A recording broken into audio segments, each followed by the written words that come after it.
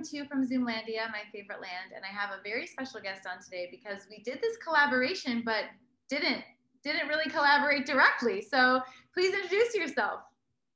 Hi, um, as you know, if you don't know me, I'm Talia from Talia's Crochet Creations, and I'm a crochet designer. Um, I've been crocheting from 2014 and recently started designing in 2017 and I was able to um, get this opportunity to collaborate with Knit Crate.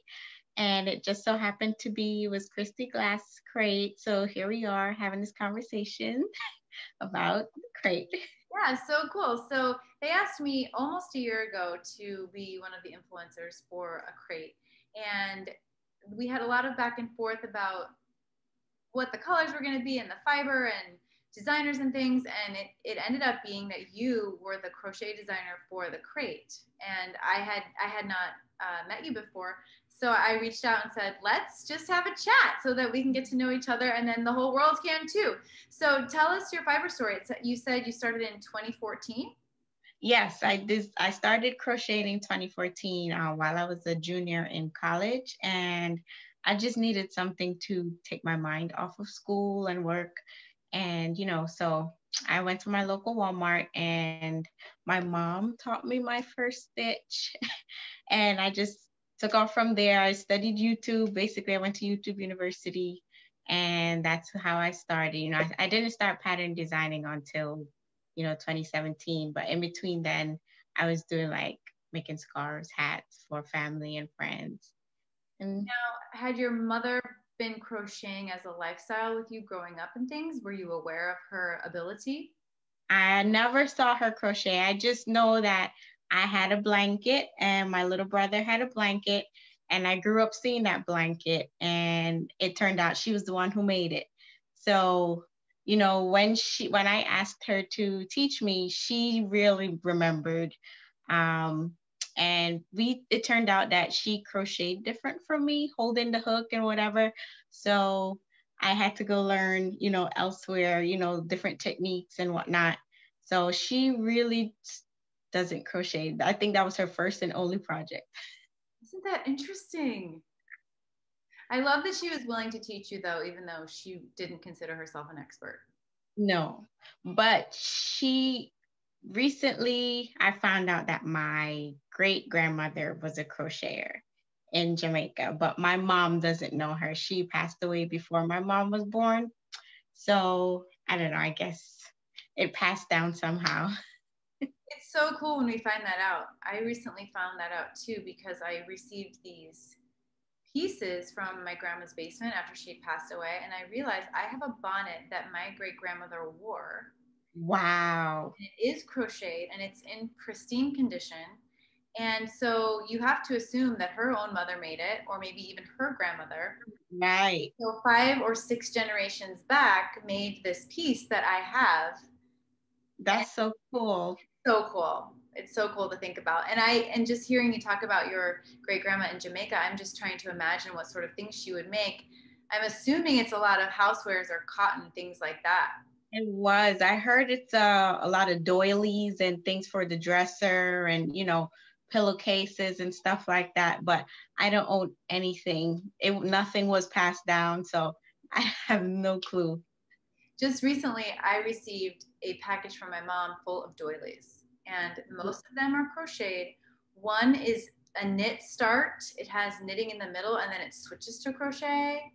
Oh, that's cool. So cool. And then one has like I know there's a term for it, but it's almost like 3D crochet. I, don't, I can't remember the term. Someone will know, but it's just, I, I wish I knew exactly whose hands made those, but I just have to, like you, say to myself, it was passed down somehow. Right, right. So cool. So um, you really took, hold, go ahead. Hold on to them. Definitely. So you really, you really caught on to crochet. And so when did you decide I'm going to design?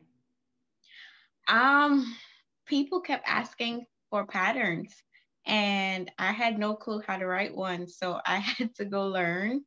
And um, my family was pushing me because I'm like, you know, it's just a pattern, you know. But then I was getting, you know, friends were saying, we want this, you should write the pattern. And I went and looked into it, and it wasn't anything that I planned on doing, it just happened. And, you know, I really had no plans for crochet at all. Now, is this your side hustle? Is it your main gig, designing crochet? Um, for right now, it's it's the side. I want it to be main. You know, I'm home now for most part, so I'm trying to transition into it being the main right now. Aren't we all at home right now? yeah. We're all just at home trying to get through this. Yeah. Now, what was the first design you did? Do you remember what it was? Oh gosh.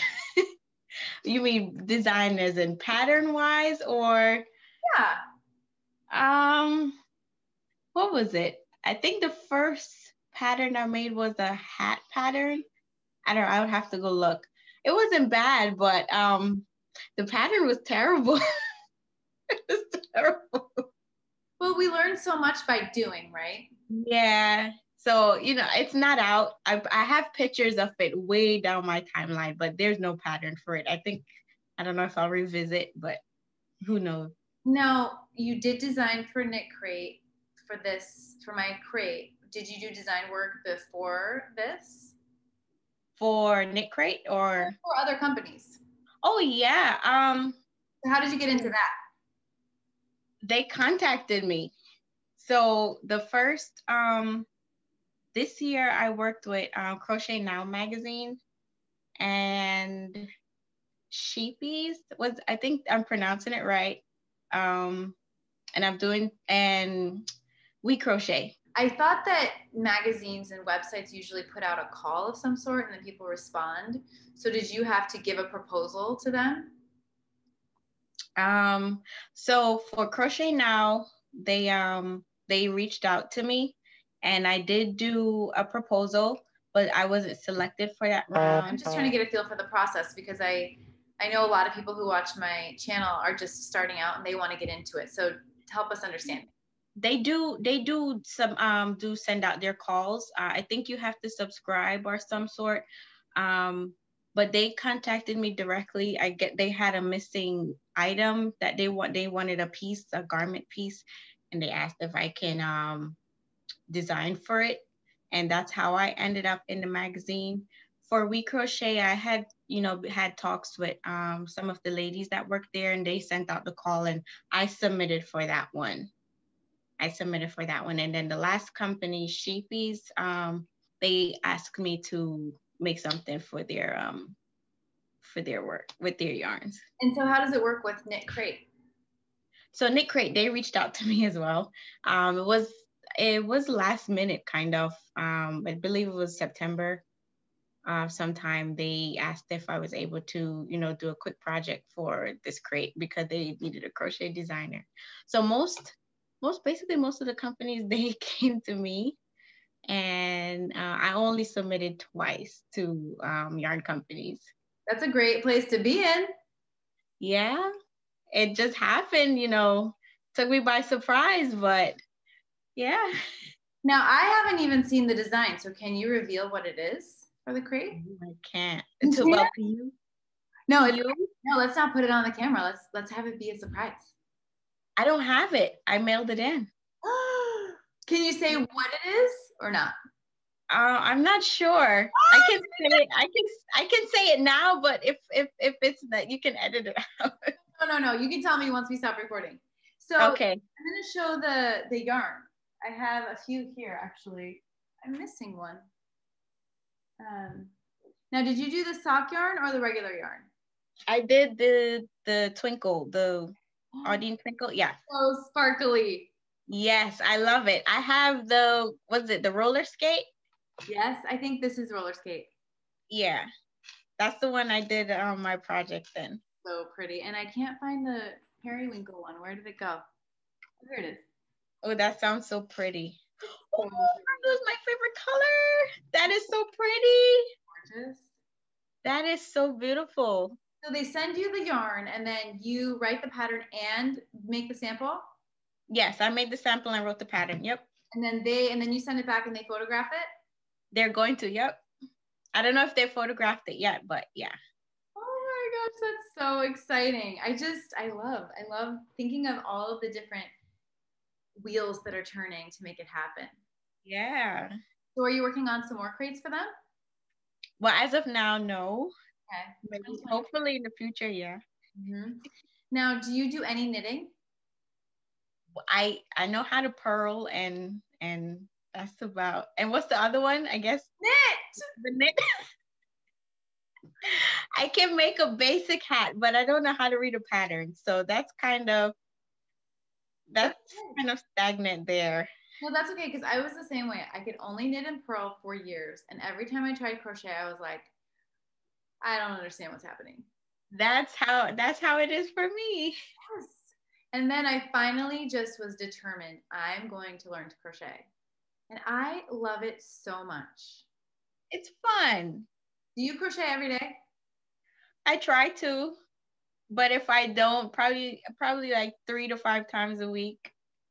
It depends. If I if I if I do a big project, I kind of give my hands and shoulders a rest. So, you know. So, do you have some patterns that you have self-published that you can tell us about? Oh yeah, I have um okay, let me let me um so I'm working I actually I ha- actually have it in my lap right now. It's in black. It's my For the Love of Baubles wrap. Um that's my re- most recent um pattern accessories. You know, it's fun. It's a fun stitch. And I'm doing um my cable beanie soon. It's in testing right now. Um it's a it's an old pattern, but I'm re you know redoing it now. Um, actually, no, not an old pattern. I probably I sold a hat, but I'm just making a pattern. Um, and I have my cable shawl that I did last year. You know, some fall fun fun fall accessories, and I do have some garments. Um, I'm redoing my Genesis um, sweater. It's a simple top down rib, kind of look like knit when I started crocheting, I wanted something to look like knit. So that was kind of my my um, crochet project for that. Well, you and cables a couple of times. Is that is that like a big challenge trying to get cables in crochet? Ah, uh, it took. It's it's not as hard as it seemed. When you look at it, it it may seem hard, but it takes a lot of practice. Like I've had people that do some of my cable patterns and they did it for the first time and they thought it wasn't, you know, after they did it, they're like, oh, you know, I wish I had started earlier or it's not that hard at all. So it's just, it's really simple. You just have to know where to place your hook and, you know, a lot of skip stitches and working in skip stitches. Um, so it's not hard. I would think cable uh, knitting cables are harder than crochet cables. That's so funny. Yeah, I don't know. I remember I was very intimidated by cables with knitting. And then I was like, oh, this is actually kind of easy. But I can't imagine a crochet cable yet. Like, I would really need to read that pattern. I can't imagine how to just fudge it. It, if you know how to do post stitches, then you're fine. Yes, I can do front post and back post. That's all there. That's all it is. Hey, okay. That's all it is. all right, that's good to know. Now, what's the level for the knit crate? Is it intermediate, beginner? It's for the price. It's beginner. Okay. Yeah, it's really simple. Yeah, it's a beginner pattern. Yeah. Hey, that's good to know because then if people get it, like I love that Knit Crate has a knit and a crochet pattern. So you know, if you do both, you can pick, and then if you don't, maybe you challenge yourself to learn how to do it. Do right, right. Coming out of my it's joining the. Happening? What? What is happening? That just shows my bad weaving. You know what? When you weave in the ends, you should put the seam in the back. That's what you should do. There we go. I, you know, I only weave when I'm, you know, doing like uh my own projects. No. She's like, it's done. No, it's done and if you can see them hanging out, you just like snip it. Just it. Yep. snip and tuck. It's the way we hide it. Yes. really funny. Now, what were you studying in college? Uh, I studied small business management. Ooh. Yeah, and then I was in HR and um, HR in a construction company. I did a little bit of that, mostly that and payroll. So I, I feel like I didn't really use use my degree at work until I started doing crochet work because like I had to do everything for myself. So the marketing, the you know the admin work, I really didn't see my degree until I started doing crochet work. I was just gonna say that because now you have your own small business. Yeah. It's good to be your own boss, right? Kinda. I mean, it's the timing wise, you know, you can set your own hours, but um, you have to make time for you have to remember to make time for yourself. I felt the same the way. hardest part. Yes, this morning I remember I got up and I felt like my to-do list was so long. And I kept that my mantra this morning was take care of yourself first. You have to take care of yourself Mhm. first. And so I forced myself to go on my walk because sometimes when you wake up in the morning, you're like, I don't have enough hours to finish all the things I need to do. Yeah. But you're going to crash and burn if you don't take care of yourself, right? Yeah. So I went on my walk And and now I That's can't even tackle the day, yeah. Well, at least you got the exercise in. right? Now That's talk good. about your crochet community. Like who are you connected with? Is it mostly online? Is it mostly not online? What what what's your world like? If I were to get like on your phone and look at your Instagram, like who do you follow? What are you into? Stuff like that. It's mostly online. Like I know, I know I'm originally from New York. And when I was up there, you know, I would have, you know, go to a couple meetups, but now I'm in Virginia. It's, you know, I'm new here. So it's mostly online. I still have most of my friends in New York. Um, so who do I follow? I follow a lot of people. Um, some of my close, close, close people that I talk to like every day. Um, I don't know if you know Whitney, Whitney from Whitney Marie Anderson. What's her handle? Whitney Marie Anderson. Okay, I'm gonna look her up. She does um she does uh, basically everything. She recently just won the Crafters, I think it was the Crafters blog award from Lovecraft. She's so cute. Yes, and she makes the most adorable stitch markers. They're so cute. Look, look at the they're little um they're kind of Frida inspired, but they have little pom pom buns and little flowers. And the flower crowns, yep. And I think I don't know if she have any puff puff um puff hairstyles in that one, but they're really cute. And it looks like she makes these little dolls too. Yes, did you see her um, Michelle Obama um doll? That one was really good. Oh, she's so cute. So did you just met her online?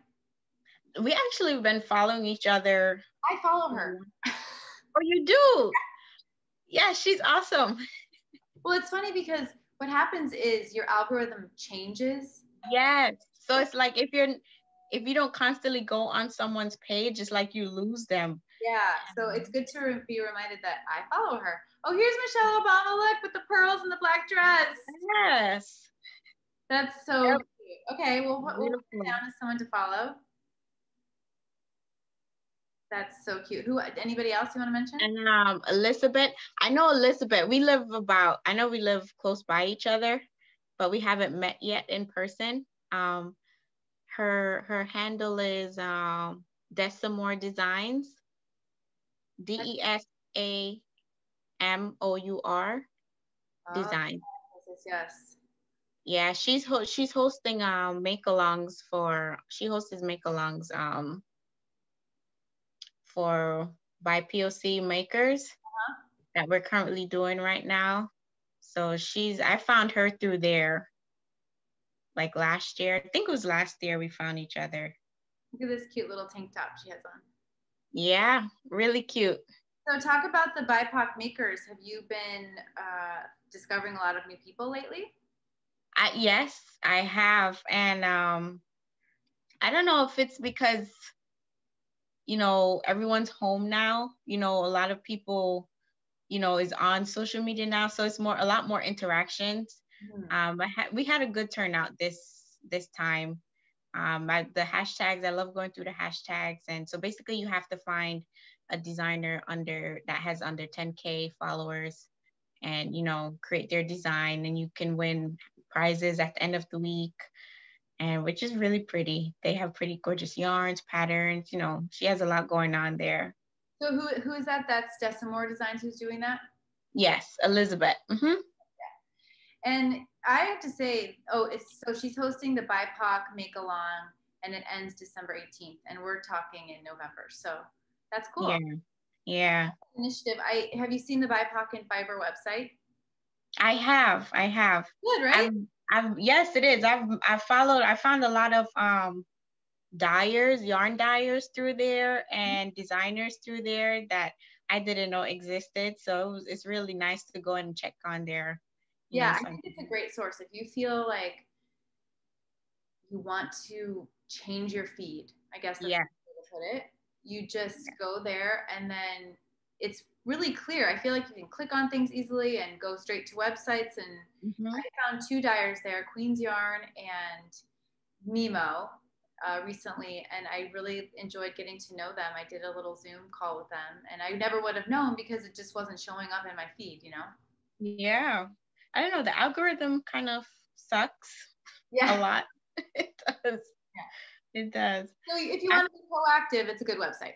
Yeah, it is. Um, okay, I'm gonna look at your feed. Okay. I've been neglecting it for some time, but you gotta you know, watch that feed. Busy behind, you know, busy behind the scenes. Look at you. So do you love the color yellow or is that just the mood you're in recently? Um, it's I guess it's the mood. You kind of go. You you're posting in color stories. Oh. You think so? Yeah. This top is so cute. Okay, what's this called? That's the Myra ruffle crop top. That is so cute. Thank you. So I did that over this. I did that this spring. And I don't know, it kind of was like an accident, but yeah. I just sat down and I wanted to use the stitch and I said, okay, let's see what we can do here. It's, and that's okay. what happened. This bobbles and cables. Obsessed. Oh yeah, that was my first um actually I worked with Lovecrafts too. That was um I worked with them on that project. This is so chic. Look, it's a it's a total what do you call this? A duster? Uh I I it's two sizes, so I just had cardigan because you could do the cropped length or the long length. So yeah, that's yeah. so cute. Thank you. Oh my gosh. Okay, wait, wait, wait. What's this one? Is this a sneak peek? What's this one? Actually, I did that with um. Oh my gosh, there's so much collaborations. Uh, I, that's come. That's with the Hook Nook. I did that. I did that with the Hook Nook.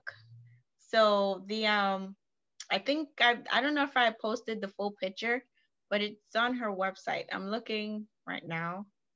That was from January of last year, I believe. Okay, I can't believe this is crocheting. That's the cable shawl I was telling you about. The cables. Yep. Oh my gosh. Well, you're busy. Yeah, I try to stay busy. Okay, I'm obsessed with the styling of this photo. Look at that. That is so cute. Thank you. I love that. Thank you. That was supposed to be the uh, back to school nerdy look, kind of. Uh, that's what I was going for. Me back to school, a little sexy, a little sexy look. I guess you could put it that way. now, wait, what's happening with your hair here? It looks like it's twisted up to the side, or what's happening with the side there? Oh, it's a mohawk. It's just pinned to the side. It's in curls, and I just pinned the side into a, you know, into a mohawk. Like a faux hawk. Yeah, a faux hawk. Yeah. You didn't. You didn't. You didn't shave it. No, I just brushed it up with the pin and tucked the pin in there, and it stays. Okay, I said faux hawk, and you said fro hawk. So oh. that that is next level because now we have a fro hawk. It's basically a fro in a, you know, Wait, look, here's a back view of the frohawk, which did we just make up that term? I think you did. No, it's it that term been around. Has it? I thought, yeah. it. It's so cute. okay, wait, what about this one? Look at this one. Oh, the tee. Yeah, that was last summer. And I love the hair in that one too.